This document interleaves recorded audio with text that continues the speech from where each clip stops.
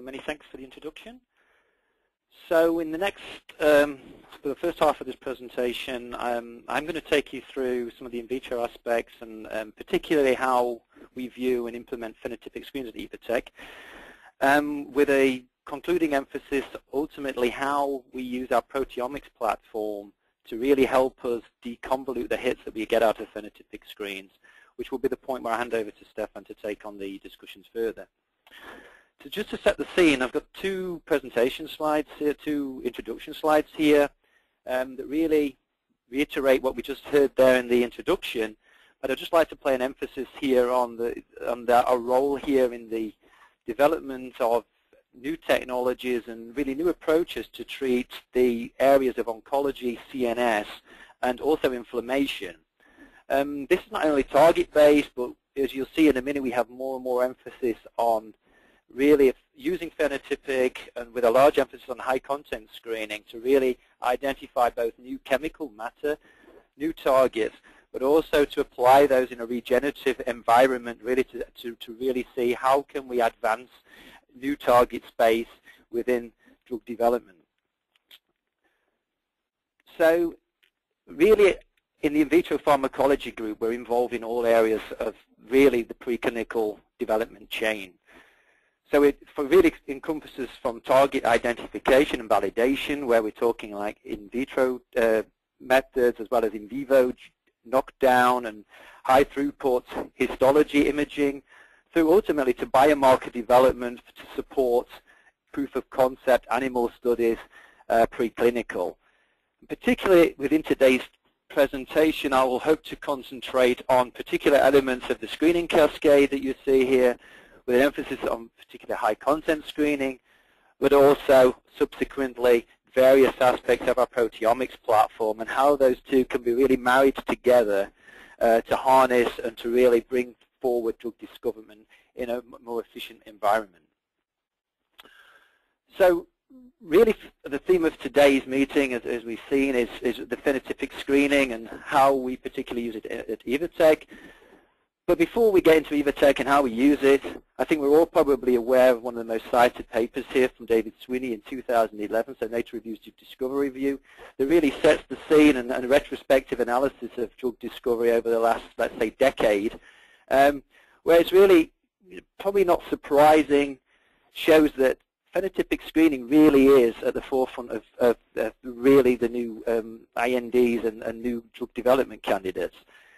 Um, if you look in first of class, um, you'll see that phenotypic screening is really more productive in terms of bringing products to the market than target-based uh, screening through high-throughput screening and the traditional target-based approaches, whereas I mean, fast follower programs, the, the, the, trend is somewhat reversed.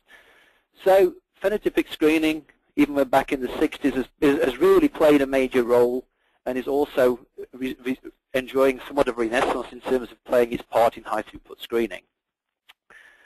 On the right-hand side, you'll actually see that the market trend, if you like, or the pharmaceutical trend that uh, is, is witnessed in the uh, Swinney review is also evident at Evotec. So I've listed here actually a current review of the programs that are actively ongoing within our group. So we have approximately 29 programs in in vitro pharmacology. And for the, you can see here for the most of these, the majority of these uh, programs have at least one phenotypic aspect involved within them. That would either be the primary assay itself or a supporting secondary assay involving primary tissue or primary cell models, really to prove uh, and confirm the activity of those compounds. So 16 of the programs we, we are running have a phenotypic emphasis. If you then look close at that 16 um, programs that are phenotypic based, um, the interesting aspect here is that the majority of those are actually run as an HTS format. So we're using at Evotec high content screening and phenotypic screening to really drive the identification of new chemical matter. So 11 of the 16 programs are really using phenotypic screens to identify the primary hit source. With the assays that we use for the HTS will also subsequently be, be used within the critical path through the um, hit to lead and lead optimization programs. So At Evotec, we are absolutely seeing a, a continued growth and maintenance of phenotypic screens in the drug uh, development value chain.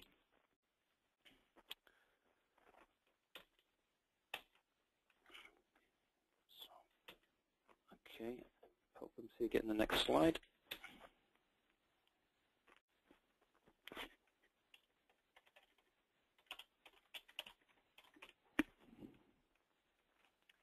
Um, Mark, okay. try exiting and re-clicking on the slide.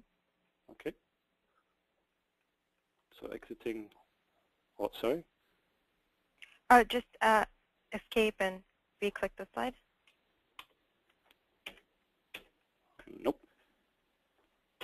Ah, there we go. Okay. So we come now to the, the, the looking at the phenotypic screening, particularly the benefits and challenges. Um, these go hand in hand, of course. So the real the benefits of phenotypic screening from Evotec's perspective, like it probably uh, I, I, think the majority of, of, people in the phenotypic environment will see, is really the access to pathophysiological background. So really looking at cells in an unbiased environment, we really want to access disease-relevant cellular systems.